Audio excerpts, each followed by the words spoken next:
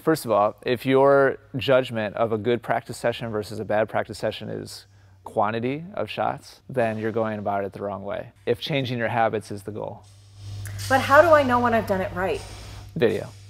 That's the only way. You're guessing otherwise. And I don't I don't guess. Like I don't feel comfortable guessing as like I could make a pretty informed guess, but I would much rather I'd much rather know Okay. before I make a recommendation to somebody who harder. part, the part where you like look at it and pull it up. That's not like just like some thing like that. You're actually being like, well, how many are good? Look at that. Once again, your contact point has been fixed without thinking about contact, just like the forehand. And so now there's some ability for your arms to extend, just like Novak. Like the two of you are, are super similar now, and it's because you're just not muscling through it anymore. I mean, really, look at the, the two of you. Your body position, your, your arm position, your hand position, super, super similar.